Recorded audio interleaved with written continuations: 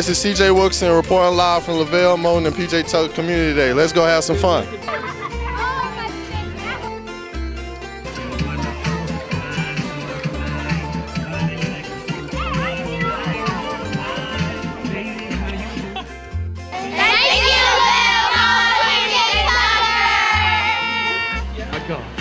I can do it, Sam. Do it. It's all about the kids.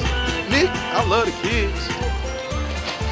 Put it on this side so you guys can turn around and look at it real quick. Be careful.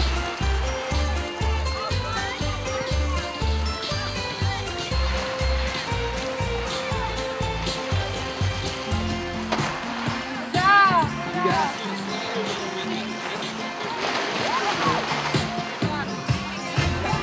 Come get your face painted. What's up? What's up? What's up? What's up? Hey, you're winning. You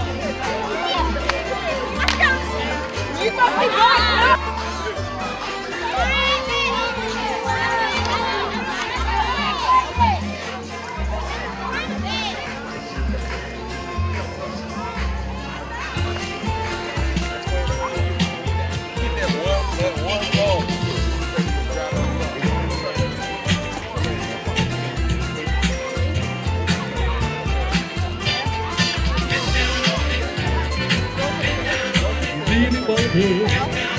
Got the feeling. Get down on it.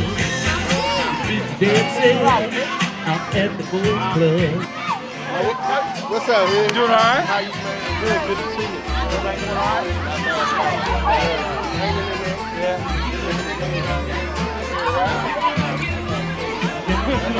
We ain't gonna make corners.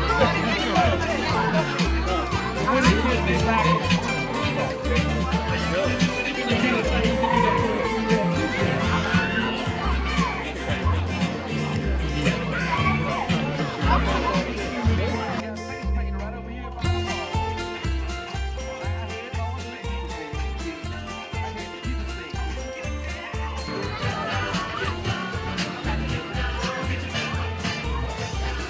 little bit of something for everybody.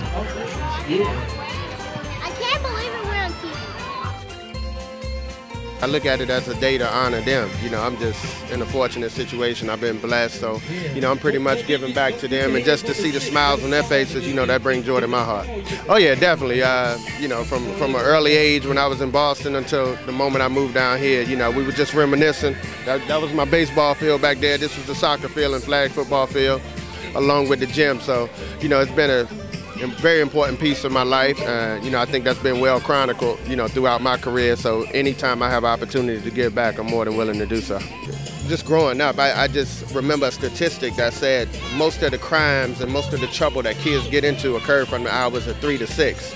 Um, you know, fortunately, I wasn't one of those kids because the Boys Club gave me an opportunity to, to do something constructive with my time during that time frame.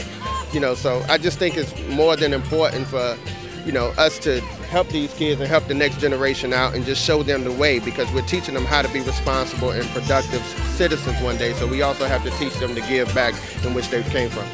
This is CJ Wilson signing off for the NCCU Sports Network.